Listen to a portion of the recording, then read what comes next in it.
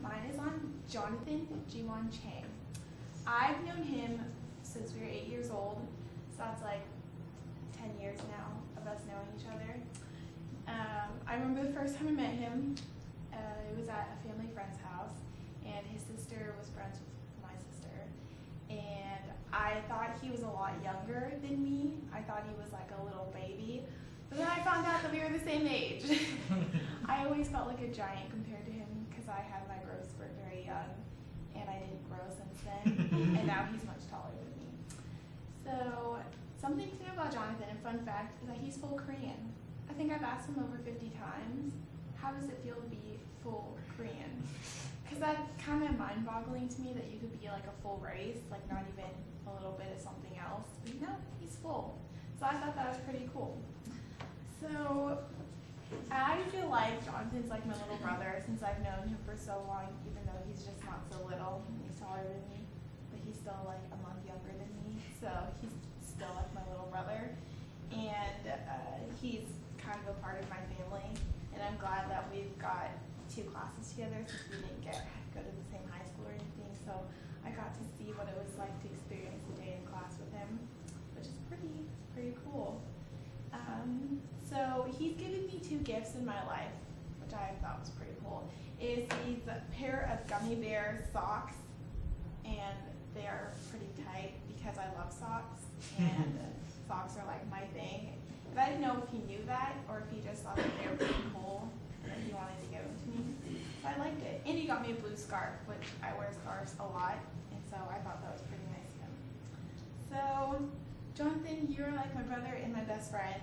I don't know what I would do without you because you're funny and you kind of just make my life difficult, which is what a brother is supposed to do. so, yeah, and I hope everyone else enjoyed him as much as I did in this class. Thank you.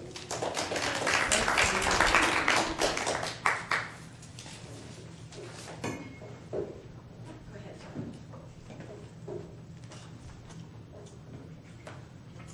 Alright, so my tribute is for Cheyanne Boshi. Um, I think we can all agree from just seeing her in class that she has a very high level of energy and a really likable personality. I've known her, like she said, since I was eight. It's about 10 years now. Um, and she is like a sister to me as well. So I've seen a lot of crazy things that have happened between us in the last 10 years. Um, one example is I'm pretty good friends with her brothers. Jake and Josh, I've known them just as long as I've known her. Um, one time I was over spending the night, and I'm not sure what I did to instigate anything, but she started beating me with the teddy bear. and it was it, it would have been fine if it was like with the feet, but it had very hard plastic eyes. It didn't, it didn't feel good on my head at all. So that was one example. Um, another one, her nickname is Cuckoo Lady Gaga. Don't know why that is, but I think I might have an idea. I heard a story one time that one time she went to Albertsons and walked around with a blonde wig on and told people she was an Asian Lady Gaga. I thought that was quite interesting, and so I think that's why that name stuck. Uh, there's many more stories where these come from, and I think all of her friends would agree that she is a bit crazy at times. Um, on a more serious note, um, though, she is a pretty caring person. Um, we do go to the same church. We've been going to it for our whole lives. And every time she goes, all the little kids come just just they just all just flock to her. And um, she holds one, and whatever one she's holding, I guess is her baby. I'll like walk up, she's like, "Look, it's my baby." so whatever one at the time, that's that's hers. Um, overall, Cheyanne's like a box of chocolates, in the words of Forrest Gump, because you never know what you're gonna get.